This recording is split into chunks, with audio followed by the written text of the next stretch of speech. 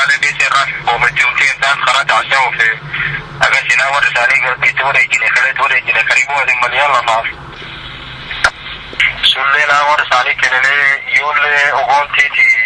ولودا أنبتا في إنني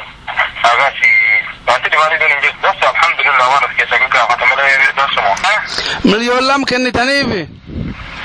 مليون لام أقوم بسلما شانتما بيزن كينيا مليون لام أقوم بسلما شانتما كني taarikh nololeedkii koroneel cabdullaahi gamaas xasan ilaaha u naxariistee horudhaca qoraalka waxa waxaan ku eegaynaa taariikhda iyo waxqabad ka mid ah halgamayaashii u magaca dheeraa ee soo maray taariikhda bulshadeenna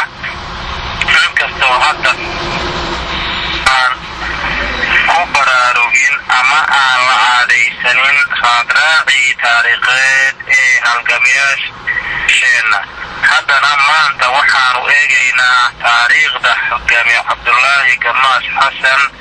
oo ka mid ahaa halgamayaashii kuwa ugu magaca iyo faca weynaa ee soo mara taariikhda bulshadeenna alle ha u naxariistee marxuumku waxa uu ku dhashay waxa uu dhashay sanadka markuu ahaa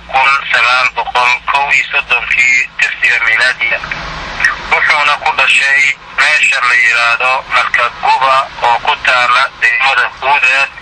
ee gobolka liibaan deegaanka soomaalida markaas oo ciidamada ingiriiska iyo talyaanigu dagaal halkaa ku dhex maray laguna jebiyey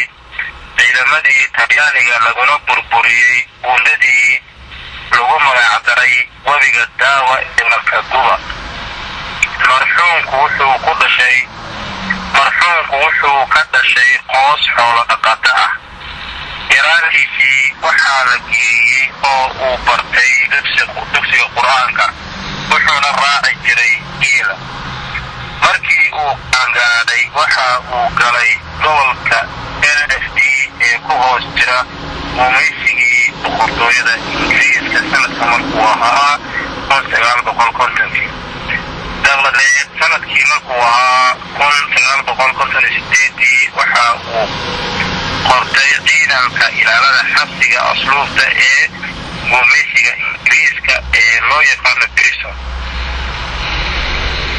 wuxuuna tababar ku qaatay magaalada naykuru oo ku taala wadanka kenya ee markaas ku hoos jirta xukuumad ku hoos jirtay xukunka gumaysiga ahaa ee ingiriiska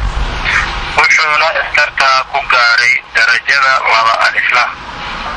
dabadeed waxa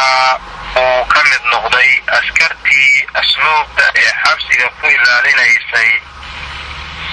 hogaamiyihii hore ee u dhaqdhaqaaqi jiray xorriyadda waddanka kenya ee jomo kenyatta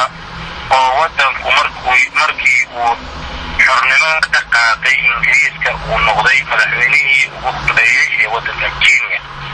hase yeeshee bishii may sannadkii milaad milaadiga ah markii uu saluugay cadaadiskii iyo qaabkii